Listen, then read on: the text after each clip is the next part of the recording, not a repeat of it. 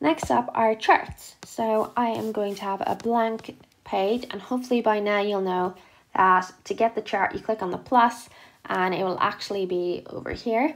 So there's lots of different types of charts. So you have bar charts, pie charts, 3D charts, um, which are nice. You have interactive charts as well. Um, so I will can put one of those as well. That allows um, for some interactivity in there. So this, for example, I can have it so if I click through it'll move. I'm going to just stick with basic charts for now. So I'm going to go for here and I'm going to go for a pie chart. So the pie chart ends up coming in here. You might be wondering where you change things like the color. It's up in paintbrush. There's different styles that are in here. So you can change the styles of them. You can change the colors of them. You can arrange them back, forth, resize them.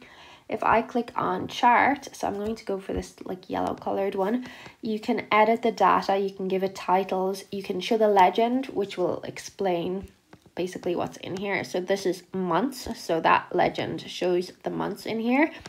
I want to edit the series or the data. I'll show you the difference between both of those. You will have options such as rotate in there as well. If I click on series, that is um, the series of months. So it's basically what data you're generating percentages or values for. So if I tap on any one of those, so I don't have a December, so I'm going to change April um, to a different one in a moment, but I don't want it to be yellow. I want it to be something like blue. So I can change the color in there. I can change a gradient or an image as well. So in here, I have my fill, I have a stroke. I can change the distance from the center, which will actually move it out. Sometimes that can be useful for illustrating something. I can change my labels, um, formats, basically everything you can do normally with charts you can do in here. And then what I want to do is I want to just tap here and I want to change the data. So this is where I would change things like the text. So I'm going to change this one to December. I think I said December already.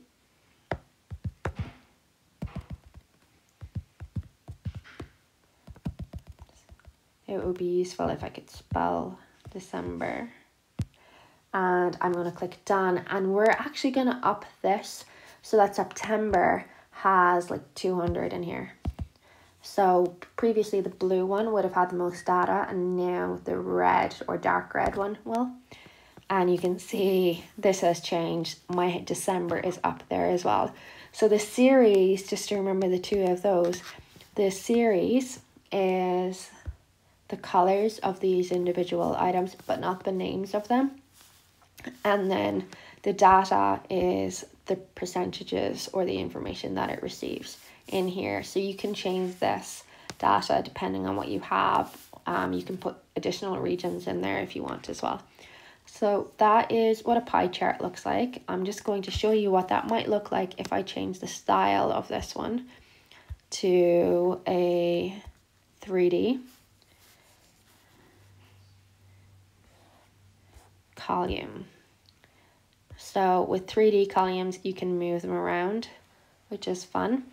And if I was to change it again, so I'm just going to tap, once you have these in, you can change them to anything you want. So I think the key is to get the information in there first. And I'm going to go for an interactive bubble. And I don't really have the data in here um, for me to do this very well. But if I did, that would obviously move around.